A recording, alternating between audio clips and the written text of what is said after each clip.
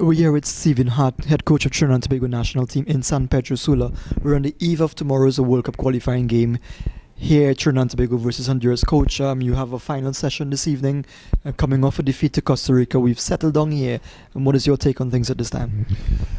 Um, well, you know, we, we we know very well that we need to improve um, in the attack, in third, how we combine our movement off the ball um, needs to be a lot more dynamic. Yeah, we'll need to we'll need to close down Honduras effectively, but not just close them down, but but try to to to win the ball in crucial areas of the pitch and, and get on top of them, um, because that's what they're going to try to do to us in the opening minutes. I watched the game uh, the Panama Honduras game a couple of times. They're very, very dynamic, lots of hard running, hard tackling, um, and they, they just put you under pressure all the time. So we have to counter that by by by, by playing quicker, playing deeper, and, and doing the same to them.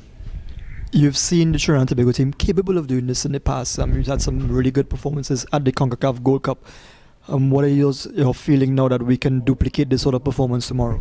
Well, I think it's just a matter of, of the mindset, the, the attitude towards doing what is necessary to be to be done.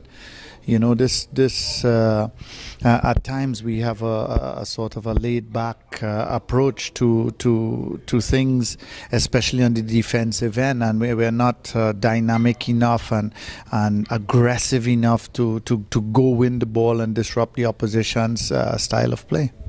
There seems to be a um, growing support for this team back home. In spite of the loss, we have the likes of a Stern John who knows what it is to win in Honduras. Um, even Russell Latapy in his TV analysis, you know, they said some good things about this team and they actually feel we can get a result tomorrow. what is how important is for the team to understand that there are people who believe in their ability? Well, I, th I, think it's good because the, the names you are calling are, are people that have been through it, and and uh, Hudson Charles and and uh, Mike Maurice have been talking to them about the same sort of thing.